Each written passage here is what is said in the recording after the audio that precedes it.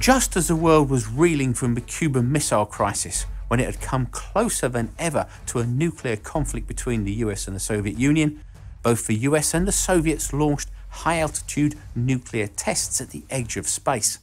One of nine such tests within a two week period at one of the most dangerous times in modern history. These tests had been run since 1958 and created effects never seen before.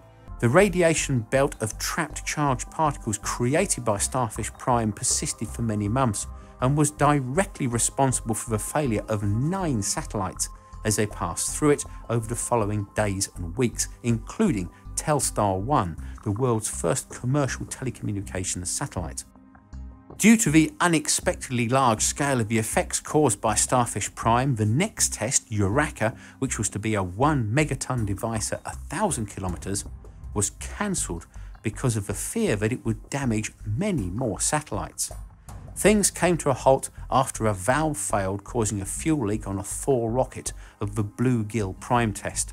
With the rocket in flames on the launch pad, the range officer sent the destruct command, which not only destroyed the rocket but also most of the launch pad and caused the warhead to explode but not detonate. This spread radioactive core material all over the launch area, requiring it to be decontaminated before the launch pad could be rebuilt. Meanwhile, in the Soviet Union, they were conducting their own high altitude tests at Karagandy in Kazakhstan. The devices were 300 kiloton and exploded at an altitude of 290 kilometers. For the test, a 570 kilometer section of telephone lines in the area were instrumented to see the effect of the EMP. When the device was detonated, it burned out the entire length of the telephone line, with currents of up to 1500 to 3400 amps being recorded. It also caused the destruction of the Karaganda power station and shut down thousand kilometres of shallow buried power cabling. On the 1st of November 1962, the US carried out the 400 kiloton Kingfish test at 80 kilometres, and on the same day, the Soviets carried out a 300 kiloton test at 59 kilometres. Both of these were just two days after the Cuban Missile Crisis had come to an end. The US's final test, called Tightrope, was carried out on the 3rd of November 1962.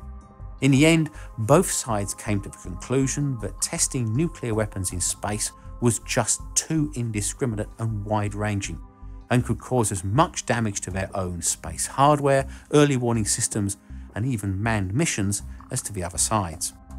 With the reintroduction of the Test Ban Treaty of 1963, space based testing was banned with the possible exception of the Vela incident in the South Atlantic of 1979, when a characteristic double flash of a nuclear detonation was picked up by a retired but still functional Vela Hotel satellite, one which was designed to look for breaches in the Nuclear Test Ban Treaty.